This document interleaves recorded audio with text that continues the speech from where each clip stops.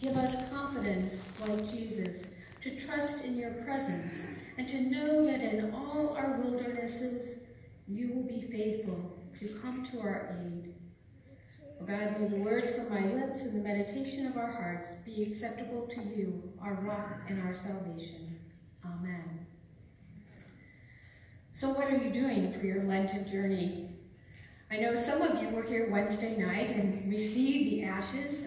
Few members even came to the glitter service to receive ashes. We began our journey with ashes on our forehead.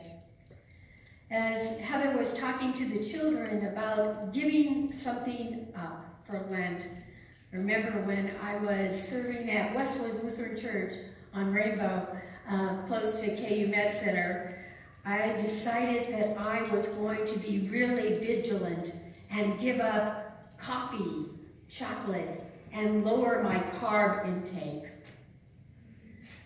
The next day, the council president came to me and said, Pastor, I really think that's a bad idea. And it only lasted one day.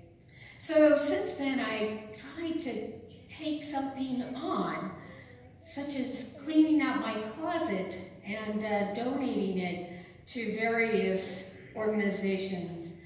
I've tried to take on more time in prayer and in study. This year, there are three things that I'm doing. One is I am uh, joining a online book club uh, focusing on the city as my monastery.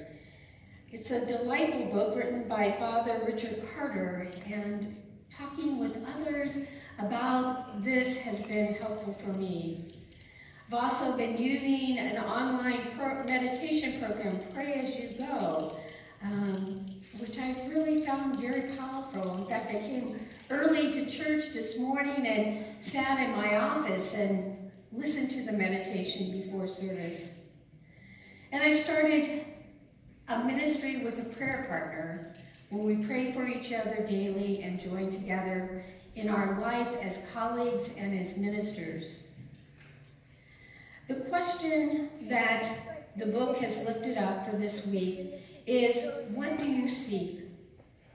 As we enter into any church season or any church community or activity, we need to ask the question, what do you seek?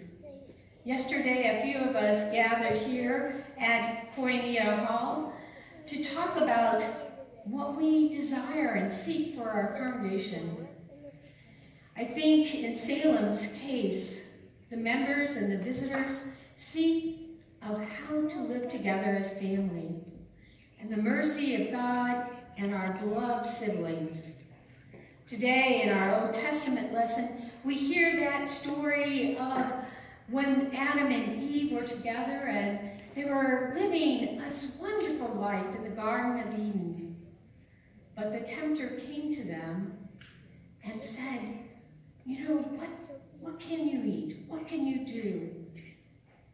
And then the woman told the boundaries what was available, and, and there was so very much. But there was one tree that they couldn't eat from. And they looked at the fruit of that tree, and the snake, the tempter, came to her and said, You will not die. God is fooling you. You can eat it. And so she does, and she shares it with Adam.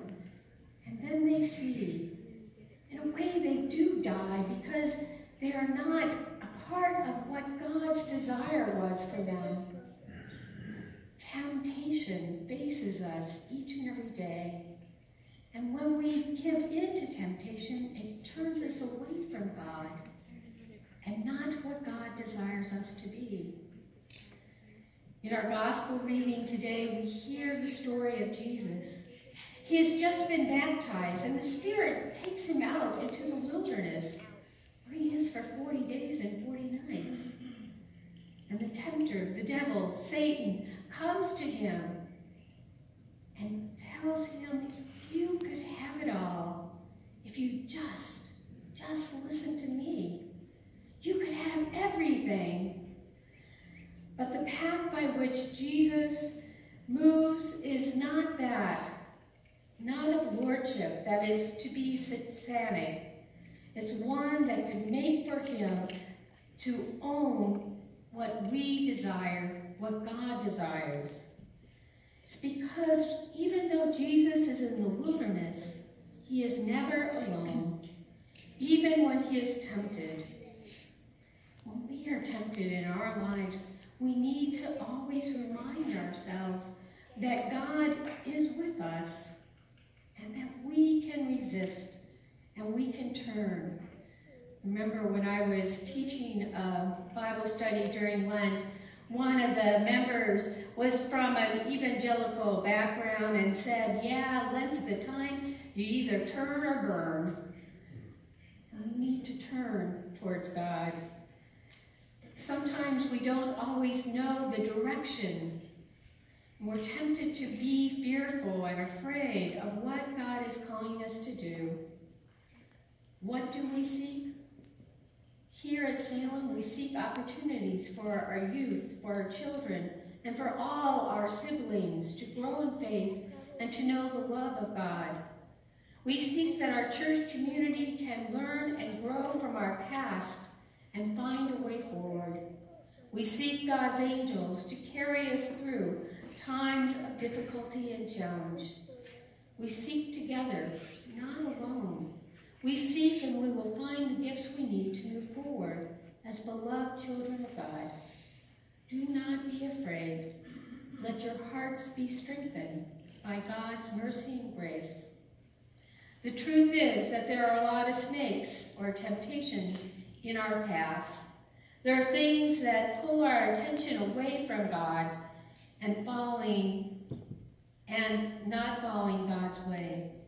Our job is to notice the temptations, to walk around them, to keep our focus on God, and to make it together.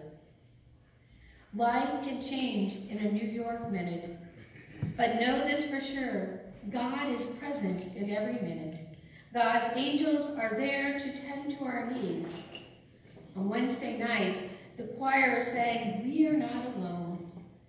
Adam and Eve were not alone, even though they gave in to temptation. They were not left alone. Jesus was not alone in the wilderness, and we are never alone. That is the good news for today, tomorrow, and forever.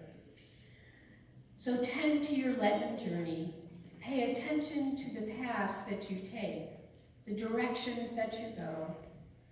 Seek to turn to God and away from the temptations that take you away from God. Be guided by his love and mercy and grace. In the name of our Savior, Jesus Christ, amen.